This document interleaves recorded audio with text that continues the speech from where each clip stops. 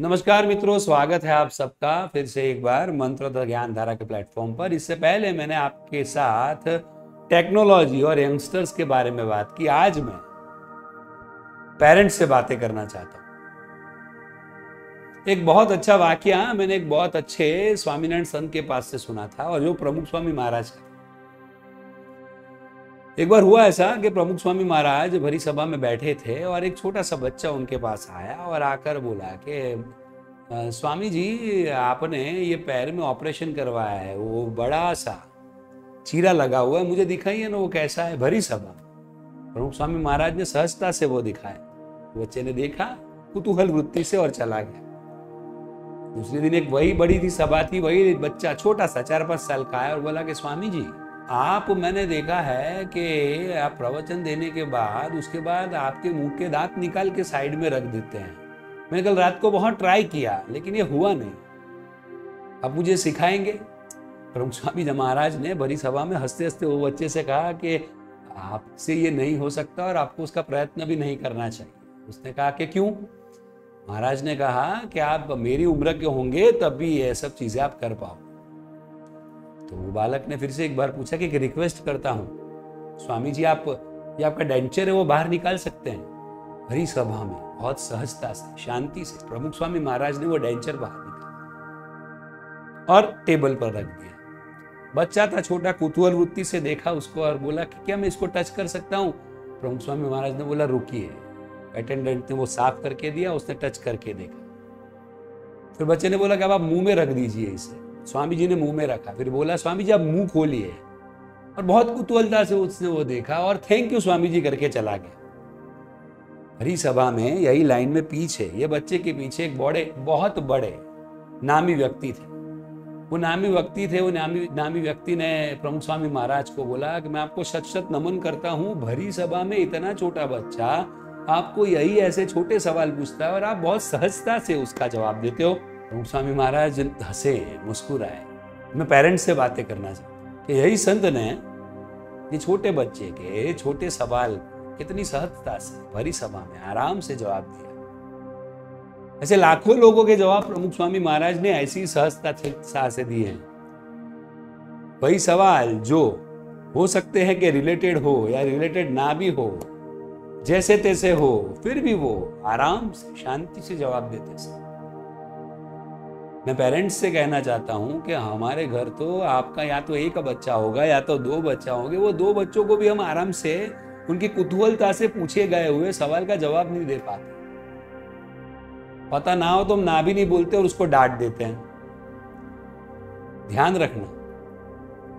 हुआ ऐसा कि बहुत साल पहले की बात है कि एक बहुत बड़े इंडस्ट्रियलिस्ट थे। वो बहुत बड़े इंडस्ट्रियलिस्ट थे, वो सत्तर साल के हुए, बहुत बड़े, मैं नाम नहीं देना चाहूँगा, बहुत बड़े इंडस्ट्रियलिस्ट थे और उसने एक अपना वीडियो वायरल किया।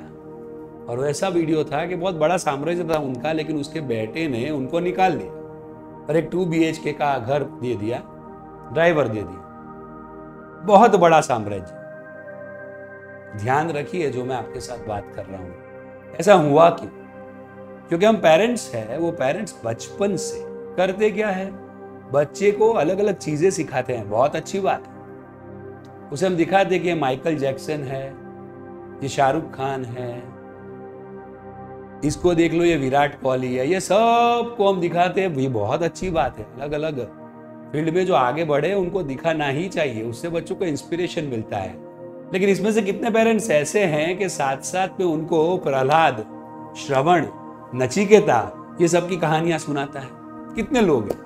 फाइव परसेंट लोग ही ऐसे होंगे कि जो ये सब चीज़ें सिखाते होंगे। ध्यान रखिए, बच्चे हैं, वो बच्चे की जो जीबी है, जो दिमाग है, वो खाली होता है। उस पर आप कुछ भी अंकित कर सकते हैं।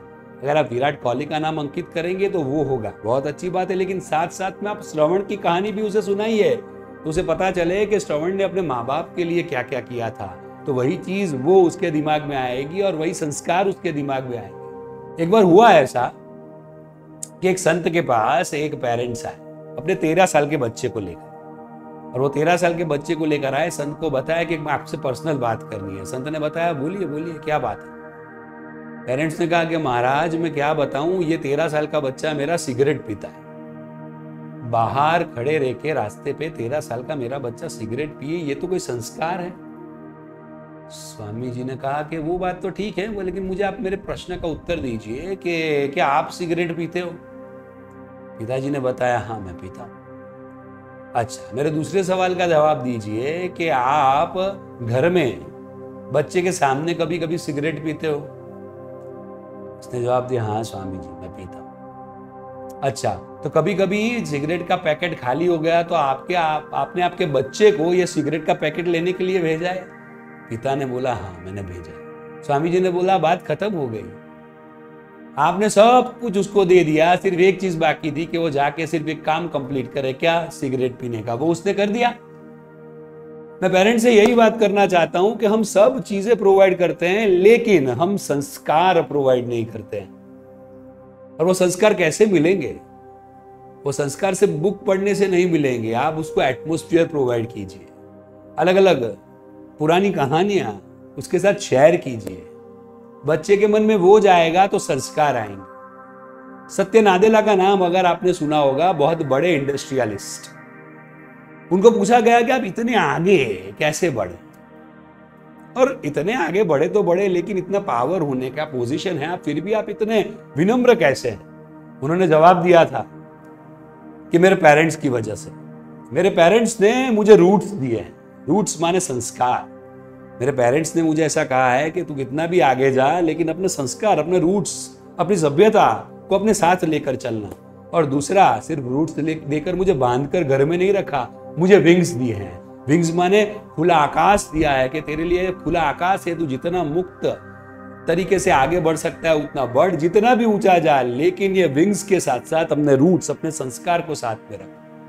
तो यही छोटी छोटी बातें हम हमारे बच्चों को सिखा सकते हैं। अगर बचपन से ये छोटी छोटी बातें हम हमारे बच्चों को सिखाएँगे तो वही संस्कार, वही रूट्स आगे बढ़ेंगे और वही संस्कार बच्चों को जीवन में सफलता दिलाएँगे।